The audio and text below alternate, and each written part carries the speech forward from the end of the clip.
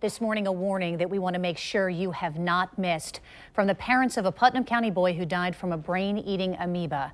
Tanner Wall was just 13 years old. He died last month after his parents say that he uh, caught the parasite while swimming in a Florida lake. Dr. Mobeen Rathore is a pediatric infectious disease doctor joining us via Zoom this morning to explain the risks of this kind of parasite to our children and to others for that matter. Doctor, thanks for joining us. Always great to have you on the show. Thank you for having me, Jen. So, Dr. Rathore, can you explain how does something like this happen?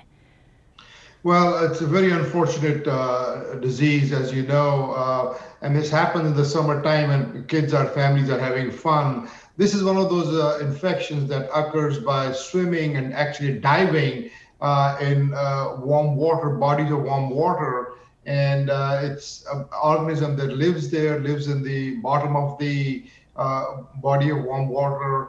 And uh, you know once you diving in the water will go through your nose and going to go and there's a plate or a bone plate at the between the brain and the nose. It goes through that and causes infection at the brain. So it's a very uh, unfortunate very serious illness that has a very high mortality so uh, it, it's interesting because, I mean, as you know, we are surrounded by lakes and ponds, and it gets hot, and kids like to swim. Uh, you know, I know Tanner's uh, family says that he grew up swimming in ponds and lakes, as did his own father.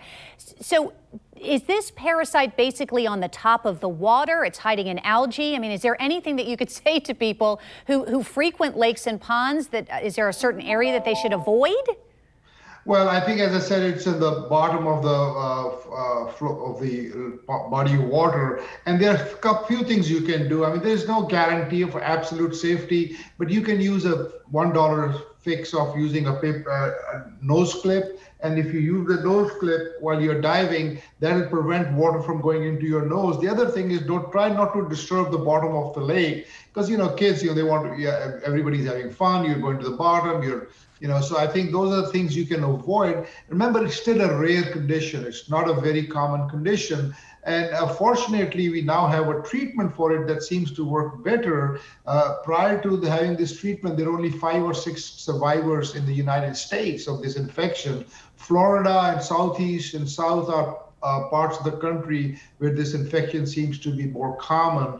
And unfortunately, early on, it's very difficult to diagnose this infection. It looks like a, a sore throat or a viral infection, so it's extremely difficult to diagnose it early on. But once you suspect it, even before you have diagnosed or confirmed the diagnosis, once you suspect it, there is treatment for that. You can get this drug, which is called uh, miltefosine, uh, and it's available uh, to uh, any anybody right now. In the past, you had to get it from the CDC. So having that drug is, is a great benefit now. So it's interesting that you bring that up, doctor, because as we know just from from Tanner's parents, they initially took him when he was not feeling well to the hospital. He was told that he had strep throat. They just didn't believe it given how sick he was, and they actually took him out of that hospital, took him to a different hospital, and that's where they received this devastating diagnosis. Let's first can you explain what the symptoms are? Because if there is a treatment and earlier the better, then we want to make sure that our, our viewers are aware of them.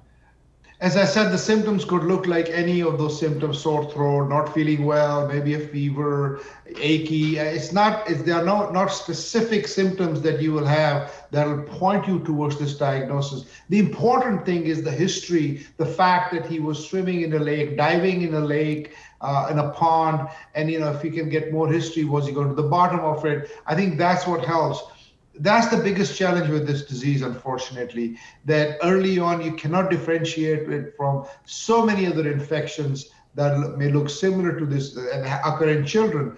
A little bit later, obviously, uh, it becomes easier to diagnose, but that's why it's important uh, to have that history. So if you suspect it, you can start the treatment earlier. It's the earlier treatment that's the most important thing in the management of this infection. Such an important reminder, given the fact that it's pre it's prevalent between July and September. Dr. Mobeen Rathore, thank you, local pediatric infectious disease doctor, for your time. To appreciate it. And we want to point out that uh, that Tanner Wall was was perfectly healthy according to his family. His middle name was Lake. He loved to swim in the water and that he was swimming with a group of 50 other campers, yet he is the only one that contracted this parasite.